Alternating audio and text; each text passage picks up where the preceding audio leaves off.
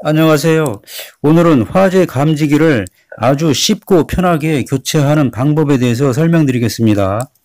이 동영상을 끝까지 시청하시면 남녀노소 누구나 아주 쉽게 화재 감지기를 교체하실 수 있게 됩니다.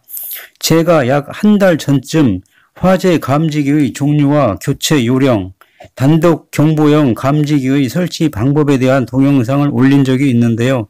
이때에는 베이스까지 포함하여 감, 화재 감지기를 교체하는 요령에 대해 소개하였습니다.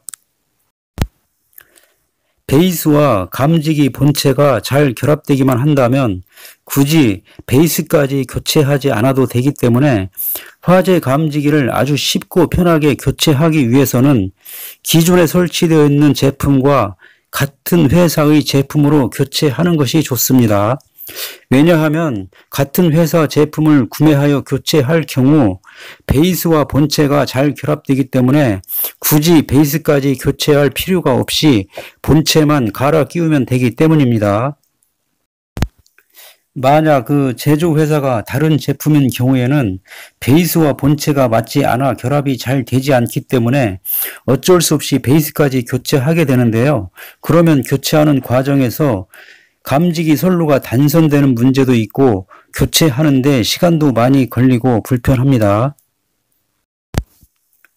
감지기의 종류와 제조 회사명은 화재 감지기 본체 안쪽에 표시되어 있으며 화재 감지기 본체를 왼쪽으로 돌리면 베이스에서 분리할 수 있고 오른쪽으로 돌리면 베이스에 화재 감지기 본체를 결합할 수 있습니다. 베이스까지 교체할 경우에는 감지기 선을 베이스에서 뽑을 때 감지기 선로가 단선되기 때문에 아파트 등의 공동주택인 경우에는 교체 작업을 하기 전에 미리 관리실에 알려야 되는데요. 미리 알리지 않으면 수신반에서 갑작스럽게 경보가 울려 방제실 직원들이 놀라거나 당황할 수가 있고 또 다른 여러 가지 문제들이 발생할 수 있기 때문입니다. 천장에서 나온 화재 감지기의 선은 본체에 직접 연결되는 것이 아니고 베이스에 끼우는 식으로 연결되므로 본체만 교체할 경우에는 감지기 선로가 단선되지 않고 따라서 관리실에 미리 알리지 않아도 됩니다.